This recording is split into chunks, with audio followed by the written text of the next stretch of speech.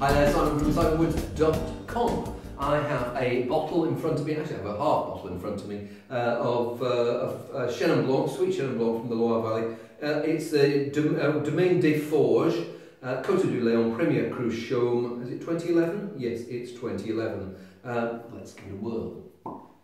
Oh, I stick my nose in there and I, it makes me want to dive in and go. Um, there's a lovely uh, creme brulee uh, with a little bit of citrus. Uh, that, those are the, the, the, main aromas that come up. But then you swirl it a bit more and the citrus gives way to uh, baked apples. And then you swirl it a little bit more and uh, there's even more stuff coming out. So there's, yeah, maybe a, a little bit of uh, apricots and stewed apricots where you put cream on and it's slowly, the cream's slowly melting or ice cream.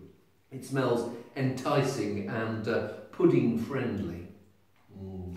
Yeah, like liquid tart tatin um, with uh, a drizzle of, um, there's something quite exotic, um, almost as if there's some lychees or something in there too. Uh, and it gives, it gives this extra richness.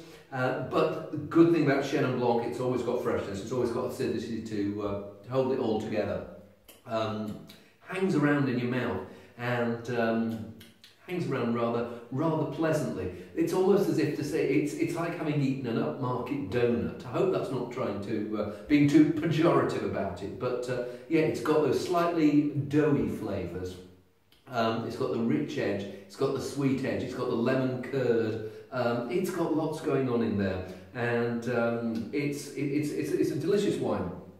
Um, what, I, what fascinates me about wines like this is uh, it's five years old now. Uh, I think if I were to try it in five years' time, I'd be noticing that sweetness uh, less, and I'd be noticing more of those uh, slightly exotic characters coming through. And uh, it wouldn't taste as sweet. Uh, so it goes from being maybe a pudding wine now to maybe a, a cheese wine in a few years. And um, but it's it's built to last. Everything there is is there to keep it in good condition. I would personally, uh, I'd like this now with some pudding, I'd like it in five years with some cheese. Um, it's a shame that I've, this is the only bottle I've got, maybe I'm going to have to rush out and uh, stock the cellar with some. See you soon.